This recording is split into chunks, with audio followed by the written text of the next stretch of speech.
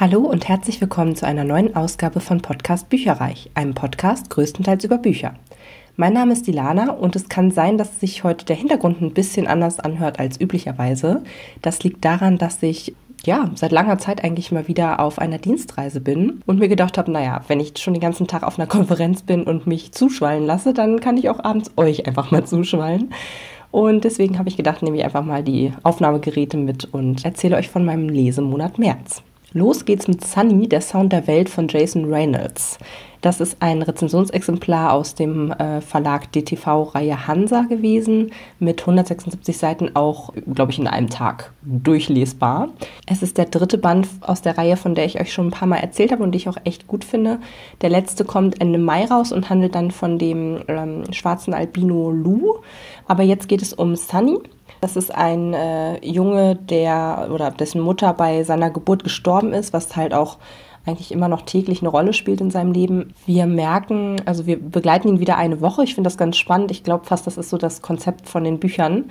Äh, ich meine nämlich, dass die anderen Bücher auch jeweils eine Woche lang quasi die ähm, Protagonisten begleitet hat. Und er wird halt zu Hause unterrichtet von der besten Freundin seiner Mutter, Aurelia. Sein Großvater ist Arzt im Krankenhaus. Und zusammen mit Aurelia besucht er zweimal die Woche Krebspatienten eben in dem Krankenhaus, wo sein Opa arbeitet. Und die tanzen denen dann quasi was vor. Somit begleiten wir ihn quasi eine Woche lang und man merkt aber auch gleichzeitig, dass das Verhältnis zu seinem Vater eigentlich sehr, sehr schwierig ist. Es ist sehr distanziert, sehr herrisch. Sunny hat im Grunde Probleme, auch seine Gefühle zu vermitteln. Also ähm, im Grunde wird sich dort viel angeschwiegen in dieser Familie und er kompensiert das ein bisschen, indem er halt super viel Lautmalerei in seinem Kopf hat. Er hat jetzt auch ein Tagebuch nochmal geschenkt bekommen, ich glaube auch von Aurelia. Mm, und dort kann er dann halt so seine Gedanken sortieren und das ist quasi das, was wir lesen. Ja, wie gesagt, er hat dann ständig irgendwie so Kabum, Wuff und keine Ahnung was, also ähm, halt Lautmalerei, die er dort auch eben veröffentlicht ähm, quasi. Aber tatsächlich ist es jetzt äh, so, dass er seinem Vater jetzt dann sagt, dass er eigentlich nicht mehr laufen möchte. Der hatte ihn dann irgendwie sehr unter Druck gesetzt, weil halt seine Mutter, glaube ich, auch Läuferin war. Mm, und er so ein bisschen immer so, oh, sie hätte sich das so gewünscht und so. Und ja, er hat sich da ganz lange nicht getraut, was gegen zu sagen. Aber jetzt ähm, ja, kommt er raus aus seinen Gefühlen und, und äh, sagt, was er wirklich möchte. Er hat allerdings die Mannschaft wirklich sehr ins Herz geschlossen und da lässt sich der Trainer, der mir unglaublich gut gefällt, äh, echt was einfallen.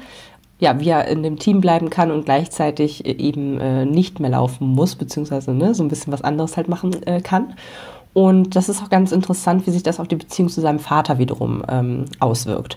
Und davon handelt eben dieses Buch. Ich fand es wieder eine sehr, sehr gute Geschichte, zeitgenössische Geschichte, äh, ohne Fantasy-Anteile oder so zum Beispiel. Besonders für Schulkinder finde ich das total wertvoll. Ich habe selbst die eine oder andere Träne verdrückt, ähm, weil es einfach so einem so nahe geht, was da teilweise beschrieben wird und äh, ja, sehr emotional fand ich es. Der Charakter selbst und auch seine, also wirklich ständige Lautmalerei, das war nicht ganz so mein Ding. Dementsprechend habe ich jetzt insgesamt vier Sterne vergeben. Es war ein sehr gutes Buch, aber der Charakter selber war jetzt nicht ganz so meins. Ja, ich bin gespannt auf das allerletzte Buch aus der Reihe. Schade, dass es dann schon vorbei ist, aber ich freue mich trotzdem auch sehr drauf. Dann habe ich eine kleine Subsünde begangen. Also als das Jahr anfing, habe ich irgendwie gesagt so, oh, gar kein Problem. Ich kaufe mir einfach keine neuen Bücher und dann ähm, baue ich schön meinen Sub ab und so weiter und so fort. Ja, naja, äh, März und ich habe zwei Bücher gekauft und zwar ein eiskaltes Grab und Grabeshauch von Jelaine Harris.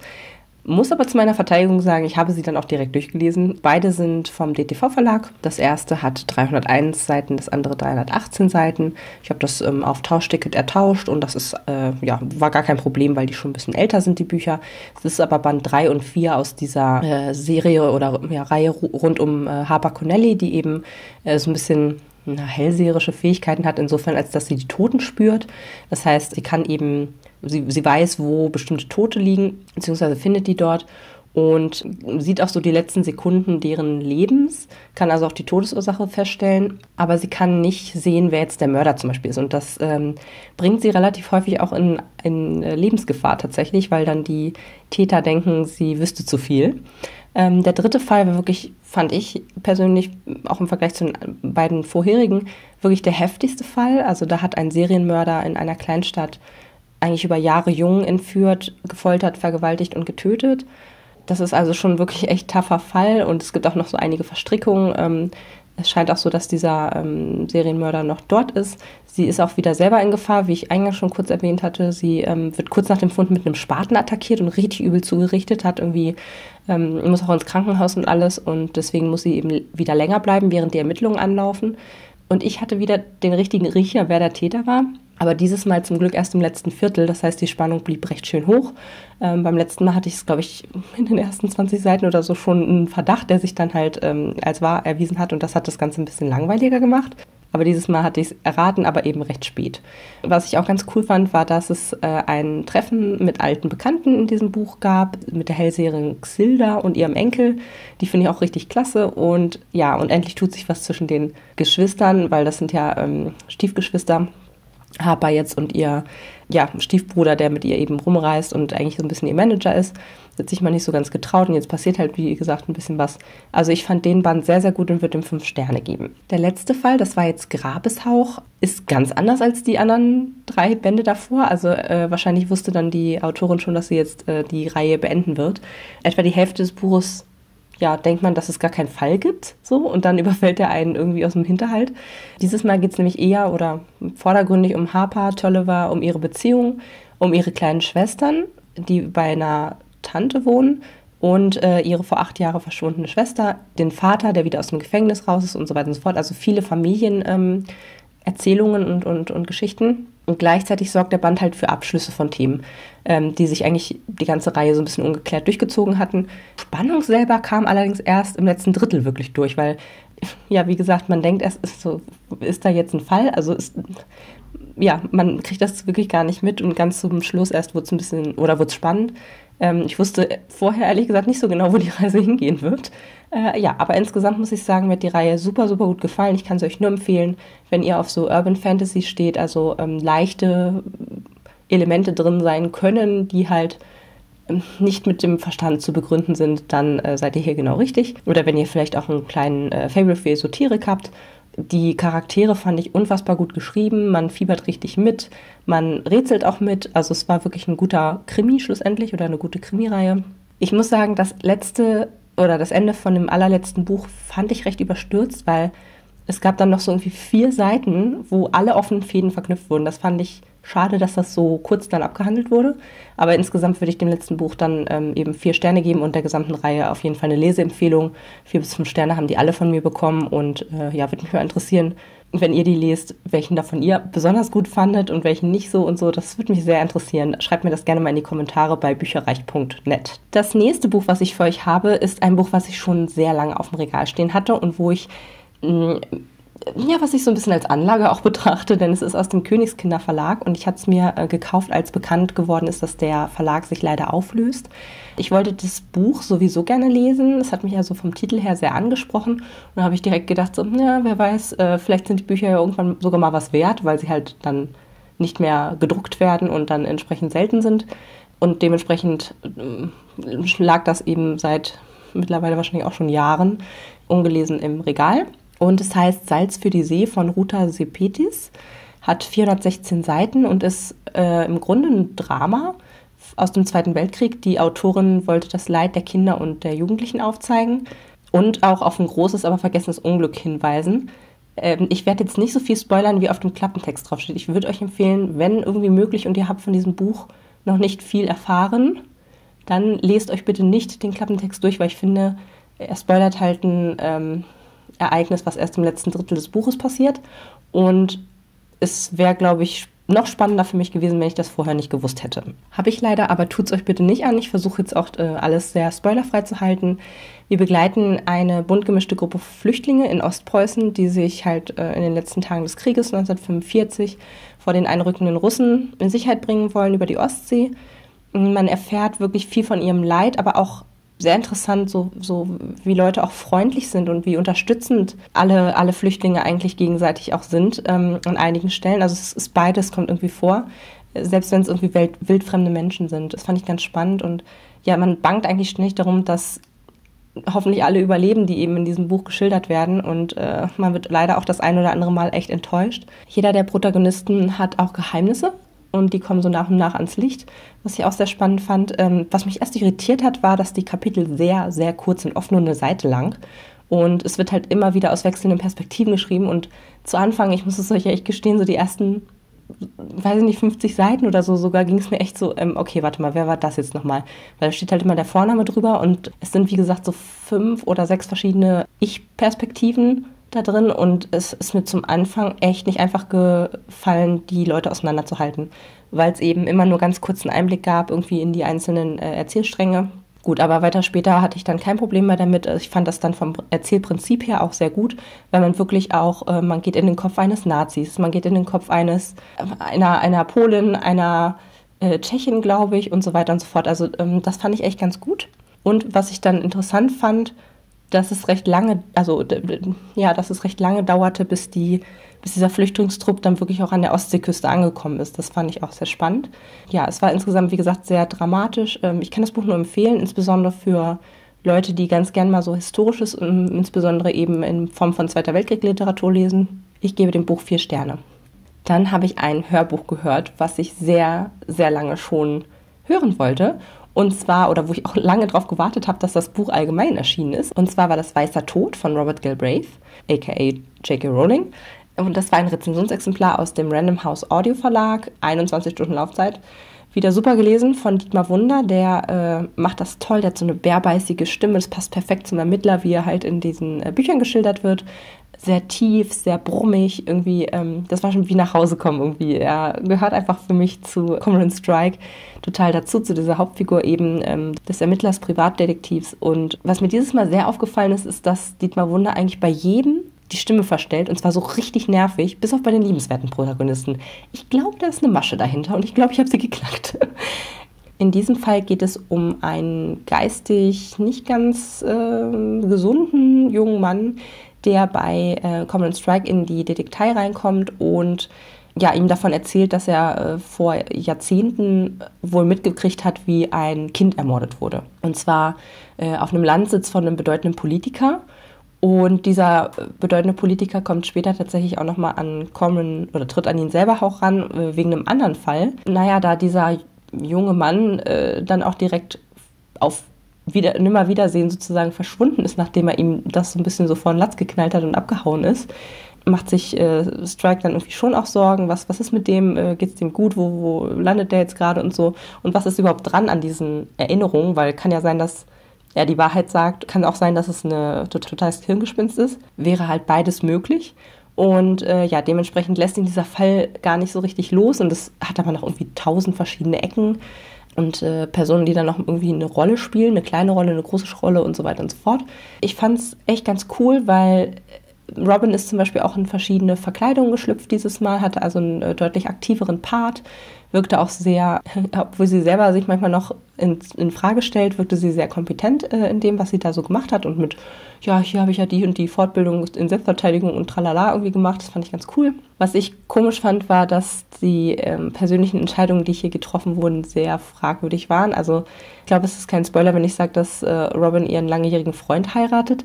Aber sie kracht, zerkracht sich irgendwie schon auf der Hochzeitsfeier mit ihm, gibt ihm nach den Flitterwochen doch nochmal eine Chance. Und aber eigentlich mögen sie und Strike sich auch. Und was, ne, was haben die füreinander für Gefühle und so? Also es ist halt sehr, wie gesagt, sehr fragwürdig oder sie quält sich halt lange mit der, mit der Frage, soll ich jetzt diesen Mann verlassen oder soll ich ihn nicht verlassen? So richtig wohl fühlt sie sich nicht. Also es war sehr hart auch zu lesen, gleichzeitig aber auch vielleicht auch wichtig, sage ich jetzt mal. Vielleicht für diejenigen, die jetzt irgendwie eine Scheidung hinter sich haben oder halt äh, auch schon mal irgendwie gezweifelt haben oder so, vielleicht nicht das richtige, richtige Buch. Sollte man dann vielleicht ähm, über, überspringen, wenn man das irgendwie so was in einem auslöst, sage ich jetzt mal. Aber so vom Fall her war es ein toller, spannender Fall. Man wird hineingesogen, ganz langsam. Also es ist wirklich, Achtung, es ist Slow Burn, sagt man dazu eigentlich ja manchmal auch. Also alles entfaltet sich sehr, sehr langsam. Deswegen ist es auch 21 Stunden lang. Was ich cool fand, war, dass ein aktuelles Ereignis mit eingeflossen ist, und zwar die Olympischen Spiele 2012. Also die bilden hier so ein bisschen die Rahmenhandlung. Fand ich ganz cool, weil man dann, ich glaube, letztes Mal war auch irgendwie die Hochzeit von William und Kate irgendwie mit, äh, oder beim zweiten, ich weiß jetzt gerade nicht mehr genau. Auf jeden Fall ich, finde ich das ganz cool, dass da immer mal wieder so offizielle, wahre Ereignisse mit den Rahmen halt bilden.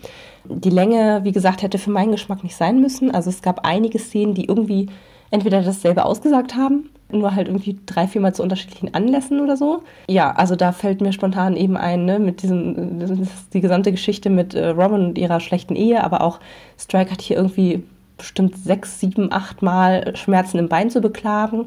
Das wird halt ständig erwähnt und ja, äh, das ist gut, das ist wichtig und richtig, dass es eben auch mal thematisiert wird, dass eben selbst mit einer Beinprothese man eben Schmerzen im Bein hat und dass das echt scheiße ist zu laufen auf verschiedenen Untergründen. Kapiere ich aber ehrlich gesagt auch beim dritten Mal.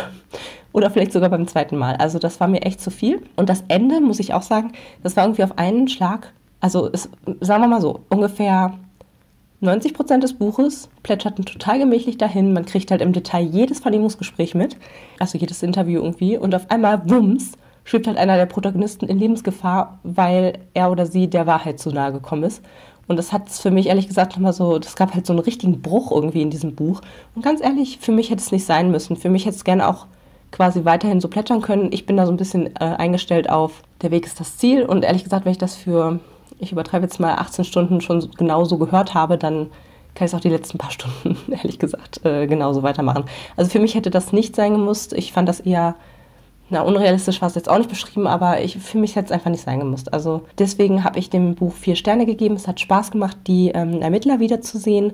Der Fall war super. Ein paar Kleinigkeiten, die mir nicht so gut gefallen haben. Sonst echt klasse. Ich kann es auf jeden Fall empfehlen. Und zwar insbesondere, wenn ihr halt jetzt nicht so Action verrückt seid oder so, ne? sondern wenn es halt auch gerne mal ein bisschen länger dauern kann. Da muss man halt Geduld mitbringen. Und jetzt könnt ihr auch mal reinlauschen. Ich habe euch einen Ausschnitt mitgebracht. Keuchend und mit schmerzendem rechten Knie zog Strike sich am Geländer die letzten Stufen der Eisentreppe zu seinem Büro hinauf. Hinter der Glastür waren zwei laute Stimmen zu hören, eine männliche und eine schrille, angsterfüllte weibliche. Gott sei Dank, keuchte Denise, als Strike ins Vorzimmer stürzte. Sie stand mit dem Rücken zur Wand. Strike schätzte den Mann in der Mitte des Raums auf etwa Mitte zwanzig. Strähnig dunkles Haar hing um sein dünnes, dreckverschmiertes Gesicht, das von zwei glühenden Augen in tiefen Höhlen dominiert wurde. Sein T-Shirt, der Kapuzenpulli und die Jeans waren verschlissen und schmutzig. Die Sohle eines Tonschuhs löste sich vom Leder. Dem Detektiv stieg der Geruch eines ungewaschenen Tiers in die Nase. Der Fremde war ganz offenkundig geisteskrank. Etwa alle zehn Sekunden berührte er, wie bei einem unbeherrschbaren Tick, erst seine Nasenspitze, die vom vielen Antippen schon ganz rot war, dann klopfte er sich mit einem leisen, hohlen Geräusch gegen den Brustkorb. Anschließend ließ er die Hand wieder fallen, so dass sie an seiner Seite hinabbaumelte, nur um sie gleich darauf wieder zur Nasenspitze zu führen. Nase, Brustkorb, Hand an der Seite, allein das Zuschauen machte einen nervös, umso mehr, als er sich der Handlung kaum bewusst zu sein schien. Sind Sie das? fragte der Mann mit dem lodernden Blick, während er sich erneut an Nase und Brust tippte. Sind Sie Strike, der Detektiv? Mit der Hand, die nicht unablässig Nase und Brust berührte, zerrte er an seinem Hosenschlitz. Denise wimmerte vor Angst, würde er sich gleich unvermittelt entblößen, es lag durchaus im Bereich des Möglichen. Ja, ich bin Strike, sagte der Detektiv und stellte sich zwischen den Besucher und seine Aushilfe. Alles klar, Denise? Ja, flüsterte sie immer noch mit dem Rücken zur Wand. Ich hab gesehen, wie ein Kind umgebracht wurde, sagte der Fremde. Er wirkt. Okay, sagte Strike nüchtern. Gehen wir nach nebenan. Als letztes Buch habe ich innerhalb der letzten ein oder zwei Tage des Märzes quasi mal eben schnell gehört, weil es äh, frisch angekommen ist und ich richtig Lust drauf hatte. Und zwar ist das ein Rezensionsexemplar aus dem Hörverlag und hat eine Länge von zwei Stunden, dementsprechend gut lesbar, auch mal zwischendurch. Und es ist perfekt für meinen Schwager. Ich muss ihm das unbedingt irgendwie zuschicken. Und zwar heißt das Buch Post von Karl-Heinz. Wütende Mails von richtigen Deutschen und was ich ihnen antworte von Hasnain Kasim. Das ist gelesen vom Autor, aber auch äh, im Wechsel immer von Bjarne Mädel. Der macht das so geil. Finde ihn richtig gut der Schauspieler von Der Tatortreiniger. Mm, der hat auch schon etliche Hörbücher gesprochen und ich finde den, der betont super, also der macht das toll, der hat eine tolle Stimme. Kathleen Garlich brauche ich glaube ich auch nicht zu sagen, hoffe ich jedenfalls. Also wer die nicht kennt, großartig, großartige Sprecherin, die macht das richtig, richtig toll und hat auch eine, ich mag das, dass sie so eine sehr klare Stimme hat, finde ich persönlich. Sehr hell, sehr klar, irgendwie so ein bisschen glockenhaft. Und dann gab es noch einen, der heißt Bernhard Schütz, den kannte ich jetzt bislang nicht. Und auf Audible sieht man jetzt auch nicht wahnsinnig viel, was er bisher eingesprochen hat. Also äh, häufig in Zusammenarbeit mit, mit anderen ebenso. Der hat das auch gut gemacht, hat jetzt nicht herausgestochen oder so, aber das war okay. Wie der Untertitel im Grunde schon sagt, geht es hier um manchmal skurrile, aber sehr häufig irgendwie hasserfüllte oder dumme Kommentare, Drohbriefe und so weiter und so fort. Also der äh, Autor hat sich das quasi alles gesammelt und auch was er darauf geantwortet hat und hat das wohl auch schon mal an so einem, äh, ja, wie so eine Art Poetry Slam Abend äh, mit anderen Betroffenen zu, zum Besten gegeben, was eben damals schon für super, super Lacher irgendwie gesorgt hat und deswegen hat das jetzt nochmal als Buch halt rausgebracht und zwar, ja, tatsächlich Briefe, die an ihn geschrieben werden mit Fremdenhass ohne Ende. Er hat halt irgendwie indische Wurzeln, ja, und er antwortet hervorragend darauf. Also ich habe wirklich, das hatte ich auch erwartet, ich habe etliche Male geschmunzelt oder gelacht. Auf jeden Fall mir immer, immer gedacht, so, ja, du hast es ihm gezeigt, so, weil, oder ihr gezeigt, das sind auch Frau, Frauen, die da Zuschriften machen. Und äh, ja, ihm geht es halt darum, nochmal aufzuzeigen, so, okay, manche ziehen dann echt den Schwanz ein. Also es lohnt sich wirklich, selbst mit diesen Hohlköpfen zu reden und mit ihnen zu diskutieren und mal zu hinterfragen oder besser gesagt nicht unbedingt das zu verstehen, was, warum sie so denken, sondern eher mal den Kopf zurechtzurücken, ehrlich gesagt. Und das fand ich sehr, sehr gut und sehr clever, wie er so geantwortet hat, fand ich toll. Ich glaube, ich könnte das nicht. Vor allen Dingen hätte ich, glaube ich, keine Lust darauf, wirklich jeden Tag zigtausenden Menschen, die einfach äh, so eine Scheiße an einen schreiben, irgendwie so sachlich und clever und pointiert irgendwie zu antworten. Da ganz ehrlich, Hut ab. Also ich finde es super, dass er es macht. Äh, teilweise auch mehrfach irgendwie zu antworten. Es ist einfach schön und so befriedigend zu sehen, wie wie diese Spinner dann wirklich in ihre Schranken gewiesen werden und das aber auch, ja, wie gesagt, auf so sachliche und amüsante Art und Weise. Es war wirklich ein schönes Hörbuch, sehr unterhaltsam, von den Sprechern auch super vorgetragen, über Alltagsrassismus, wie man am besten mit dem, damit umgeht, erschreckend an etlichen Stellen und amüsant zugleich. Und der Autor, das wollte ich noch mal kurz vorlesen, Hasnain Kasim, ist 1974 als Sohn indisch-pakistanischer Einwanderer in Oldenburg geboren. Schreibt seit 2004 für Spiegel Online und den Spiegel. Seit 2009 lebt er als Korrespondent im Ausland, unter anderem in Islamabad, Istanbul und derzeit in Wien. Bei allem politischen und religiösen Extremismus, dem er bei seiner Arbeit begegnet, versucht er auch das Schöne und das Alltägliche zu beschreiben. Für seine Berichterstattung wurde er als Politikjournalist des Jahres geehrt und mit dem CNN Journalist Award ausgezeichnet. Er ist Autor mehrerer Bücher, darunter Grünkohl und Curry, Plötzlich Pakistan und Krisenstaat Türkei. Das Taschenbuch Post von Karl-Heinz 2018, das seine Dialoge mit wütenden Lesern versammelt, steht seit Erscheinen auf der Bestsellerliste. Ich muss sagen, richtig so, fünf Sterne auch von mir und damit ihr euch das besser vorstellen könnt, habe ich jetzt noch einen kleinen Ausschnitt aus diesem Hörbuch für euch. Karin K. Karin K. schreibt mir am 13. Oktober 2017. Was mir nicht klar ist, wieso Sie die AfD als Nazis diffamieren und pauschal verdammen.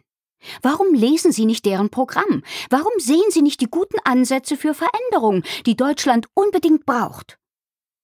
Liebe Frau K. Seien Sie versichert, dass ich das Programm der AfD gelesen habe und mir auch sonst genau anhöre, was deren Politiker zu sagen haben. Das Problem ist, es gibt ziemlich furchtbare, menschenverachtende, rassistische Aussagen von ihnen. Das macht alles andere zunichte. Zu sagen, man müsse doch auch die guten Seiten der AfD sehen, ähnelt dem Argument, Hitler habe doch auch vernünftige Dinge getan, zum Beispiel Autobahnen bauen lassen. Viele Grüße, Hasnain Kasim. Wollen Sie die AfD mit Hitler vergleichen? Sie diffamieren schon wieder. Liebe Frau K. Nein, ich vergleiche nicht die AfD mit Hitler. Ich sage zu behaupten, AfD-Politiker sagten ja auch vernünftige Dinge, neben all dem rassistischen, fremdenfeindlichen, undifferenzierten Müll, ähnele der Aussage, auch Hitler habe Vernünftiges getan. Es gibt Dinge, die jemand sagt oder tut, die stellen diesen Menschen ins Abseits, egal was er sonst noch Gutes, Vernünftiges tut. Wenn Sie dieser Vergleich stört, habe ich einen anderen Vergleich für Sie. Stellen Sie sich vor, Sie haben ein wunderschönes Kleid an, edelster Stoff, Edelsteinbesatz, was weiß ich. Nun laufen Sie durch einen Hundehaufen. Am Saum bleibt etwas davon kleben. Was ist das Ergebnis? Sie müssen das Kleid in die Reinigung geben. Sie sagen nicht, ist doch egal, der Stoff glänzt so schön, die Diamanten funkeln, das muss man doch auch sehen. Die Scheiße unten macht das ganze Kleid unbrauchbar und solange Sie das nicht abwaschen, reinigen, sich davon befreien, bleibt das so. So ist das auch mit der AfD. Die Scheiße klebt noch an vielen Stellen. Ich weiß, das klingt unappetitlich, aber das, was AfD-Politiker in vielen Bereichen sagen, ist es leider auch. Aber dieser Vergleich bedeutet auch, in bestimmten Fällen ist eine Reinigung eben noch möglich. Übertragen auf die AfD Sie müsste sich ausdrücklich trennen von bestimmten Aussagen und auch von bestimmten Leuten. Solange sie das nicht tut, bleibt das Kleid eben schmutzig. Viele Grüße, Hasnain Kasim. Ich habe trotzdem AfD gewählt und werde es auch weiterhin tun, trotz ihrer unmöglichen Vergleiche. Liebe Frau K. das bleibt Ihnen ja unbenommen. Das ist Ihr gutes Recht. Sie dürfen natürlich auch jederzeit und immer Ihr Kleid mit der Hundescheiße am Saum tragen. Aber Sie müssen dann eben aushalten, dass Leute Ihnen sagen, oh, Sie haben da was am Kleid. Oder, huch, Ihr Kleid riecht aber streng. Viele Grüße, Hasnain Kasim. Karim K. hat mir daraufhin nicht mehr geantwortet. So, eine letzte Schuldigkeit äh, gibt es noch, und zwar meine aktuelle Subhöhe. Ich habe jetzt 83 Bücher auf dem Sub und 149 Hörbücher. Das macht mich schon ziemlich stolz, weil am 1. Januar hatte ich noch 89 Bücher und 150 Hörbücher. Die Hörbücher sind relativ gleich geblieben, weil jetzt relativ viele ähm, Rezensionsexemplare eingetrudelt sind, die ich aber eh schon einkalkuliert hatte. Aber da haben wir ja eh drüber schon gesprochen, dass für mich das jetzt äh, nicht primär wichtig ist, was die Hörbücher sagen. Das ist eher nochmal so ein Bonus. Äh, ich glaube auch, dass, dass ich da noch viel abbauen werde, aber dass da eben auch noch viele ähm, ja, Neuerscheinungen mit draufkommen werden. Insofern äh, bin ich da tiefenentspannt, ehrlich gesagt. Aber mit 83 Büchern finde ich es schon sehr gut. Und das kommt unter anderem eben auch deswegen, weil ich diese Charlene Harris-Reihe da wirklich inhaliert habe mit vier Büchern äh, innerhalb von zwei Monaten, glaube ich. Auch wenn zwei davon neu gekauft waren. Also ja, ich freue mich sehr. Es wird. Und jetzt geht's auf in den nächsten Monat April. Macht's gut. Tschüss. Informationen zu allen Büchern, über die ich heute gesprochen habe, findet ihr auf meiner Website www.bücherreich.net mit UE. Ihr könnt dort oder auf Facebook unter www.facebook.de slash podcastbuicherreich in einem Wort durch mit mir in Kontakt treten. Meine E-Mail-Adresse lautet buicherreich at gmail.com. Wenn ihr diesen Podcast über iTunes abonniert habt, würde ich mich riesig freuen, wenn ihr mir eine 5-Sterne-Bewertung hinterlasst. Dies ist ein privater Buch-Podcast, in dem ich nur meine eigene private Meinung wiedergebe. Wenn mir ein Buch oder Hörbuch kostenlos zur Verfügung gestellt wird, kennzeichne ich es entsprechend auf meiner Website.